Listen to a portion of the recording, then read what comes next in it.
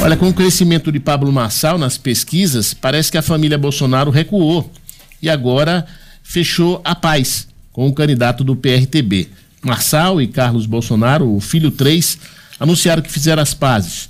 Chamado de retardado pelo candidato, o filho do ex-presidente afirmou em uma postagem nas redes sociais que os dois conversaram.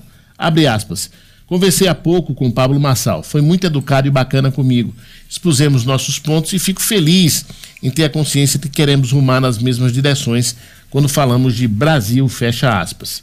No Flow, aquele podcast Flow, um dos mais famosos do Brasil, Massal afirmou, abre aspas, hoje foi a primeira vez que eu falei com ele no telefone. Um amigo nosso, o Nicolas, no caso o Nicolas Ferreira, que é deputado federal por Minas, me ligou e disse: Você topa falar com ele? Eu disse: Topo resolvemos o nosso problema. Já deve ter postado, está resolvido, fecha aspas. O governador Tarcísio Freitas disse hoje que conversou também com Jair Bolsonaro e afirmou que a abertura dada a Pablo Massal pelo ex-presidente para que ele compareça ao ato, convocado agora para o próximo dia 7 de setembro na Vinda Paulista, tem como objetivo a união da direita no segundo turno das eleições municipais. E, e Valdemar aceitou isso? É, só uma correçãozinha. O Carlos Bolsonaro é o 02. Carlos Bolsonaro é o 02. É o 02. É Carlos Bolsonaro é o 02, é o. É o, é o 03 é o Eduardo.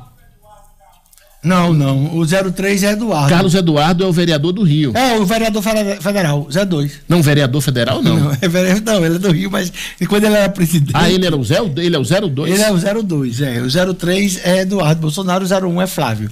Ah, é? Não é pela hierarquia de, do, dos cargos, não. Eu acho que é pelo, pelo, pela idade. Né? Eu acredito que seja. Mas olha, primeira coisa, Enio, até que enfim, esse povo que é tão burro no sentido de política, de fazer política, eles tiveram a decisão sentar, é sensata. Você pode ser adversário. Eu vou dar um exemplo bem claro aqui em Natal. Natália Bonavides e Carlos Eduardo. Eles são adversários. Todos os dois querem ser prefeitos de Natal. Todos os dois é, querem ir para o segundo turno. Mas a campanha que os dois estão fazendo é para que no segundo turno eles vão estar juntos. A não ser que passe os dois. Isso aí é inteligência emocional, certo? Porque é, o PT e Carlos Eduardo aqui em Natal, eles são do mesmo lado. E agora ele e Natália estão em, em lados diferentes, mas no segundo turno eles vão estar juntos. É a mesma coisa lá de São Paulo. Se Boulos vai para o segundo turno, se Boulos vai para o segundo turno, como é que esses dois caras, Nunes e, e, e, e, Massal, Bolsonaro, todo esse pessoal, vai se degladiar? Tarcísio. Então, primeiro ponto, a questão de, de, de, de, de, de a questão da inteligência que de hoje para hoje eles botaram. A segunda coisa que eu, muita, eu vejo muita gente tirando a credibilidade de Massal. Ontem eu escutei um negócio interessante, que assim, Massal é um Bolsonaro inteligente. Pode ser. Mas tem algo que tem que se pressionar muito, Dinato. É o seguinte: o que está levando esse eleitor da maior cidade do, do Brasil, que é São Paulo, e mais o eleitorado de gente de todo o Brasil, a se encantar com esse discurso? Tem, ou odiar, mas tem levado. Porque, por exemplo, eu não tenho a menor dúvida. Se eu votasse em São Paulo, eu votaria em Ricardo Nunes. Não tenho a menor dúvida. A minha dúvida aí é se o, o Valdemar da Costa Neto vai aceitar esse, essa coisa de o. o... Mas é, é, Dinarte hoje é, Nunes não está no segundo turno. Mudou. Mudou, porque tem, do mesmo jeito tem pesquisa para todo jeito aqui em São Gonçalo. Tem também em São Paulo.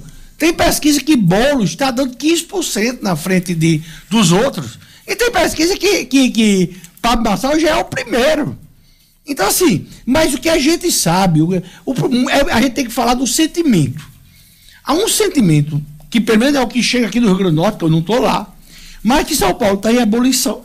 Por causa de um cara, a entrevista de Pablo Marçal na Globo News, foi um negócio assim antológico, porque a de, de, de bolos, de Narte, o jornalista fazia assim, ó, levante, fala o que você quiser. Só teve um corte, só teve um corte, que foi a questão da Venezuela.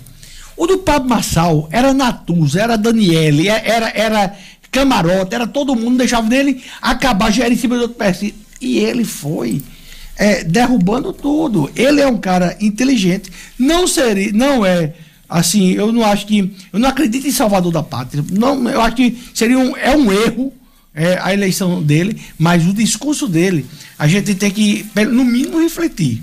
O que é que está levando? Porque assim, a gente vem numa fase que o hino nacional é cantado diferente. A gente vem numa fase que tem que é, romper a tradição das famílias. A gente vem numa fase que o bonito é você não ter religiosidade, a não ser que seja de uma religião afrodescendente. O bonito. Então, assim, são várias coisas que está sendo imposto, mas que a sociedade, como um todo, é conservadora. E o Papa, o Papa Marçal está pregando justamente esse respeito. Não, é exatamente respeito que ele prega, né? Não, mas o respeito a, a esse tipo de regra. É, ele de, respeito é, aqueles que querem a subversão da regra.